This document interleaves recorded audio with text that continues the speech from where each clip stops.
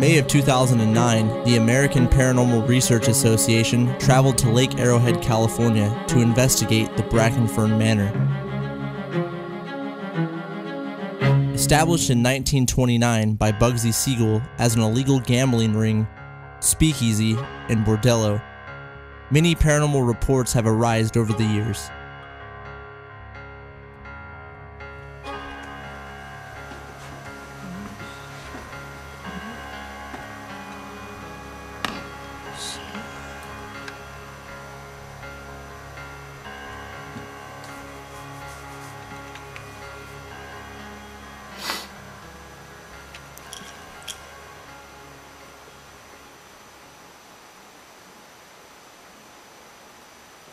I was back up there.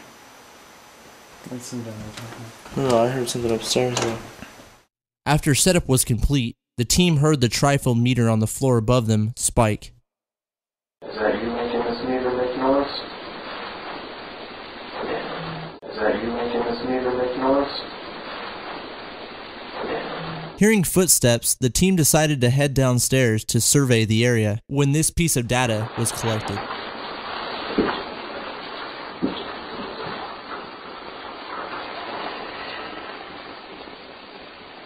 Is that you playing on the stairs?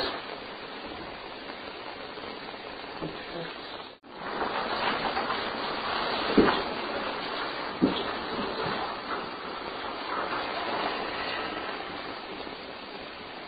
that you playing on the stairs? And they hurt the women here. Maybe he's gone. It's just weird. We've never had that go off for us before. Not like this. No, Did you hear anything downstairs? Was any talking back?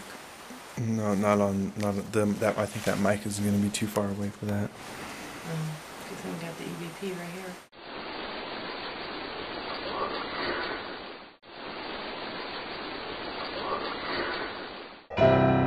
Nestled high up in the woods of Lake Arrowhead, the Bracken Fern Manor seems to have a secret waiting to be told.